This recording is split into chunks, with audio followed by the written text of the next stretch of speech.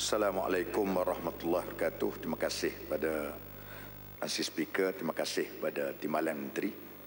Uh, soalan saya ialah berkenaan dengan memang uh, sumbangan yang diberikan oleh uh, MARA ni terutamanya untuk pelajar-pelajar atau anak-anak kita yang agak keciciran dari segi akademik untuk menjawab peperiksaan sebagainya tapi mereka diberi kelebihan dari segi teknikal dan kemahiran. Jadi saya nak timbul persoalan. Ada atau tidak contoh yang boleh diberikan oleh uh, pihak menteri?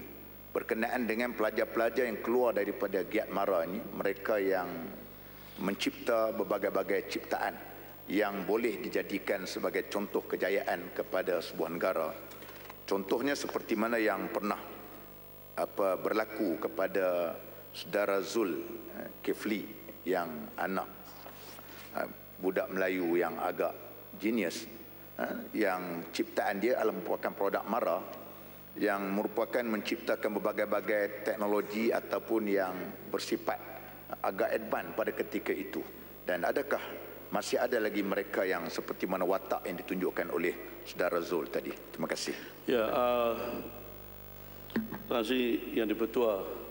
Sebenarnya soalan tadi terjawab sendirilah oleh uh, dalam uh, hujah uh, yang berhormat Bukit Gantang kerana uh, dia bertanya adakah ha? dan lepas tu dia kata contohnya disebut juga nama yang berjaya ya.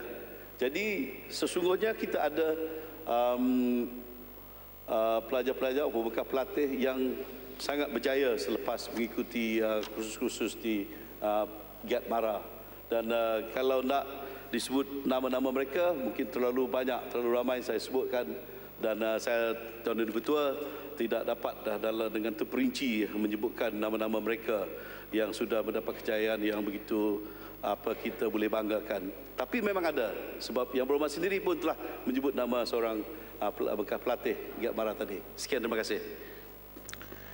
Yang berhormat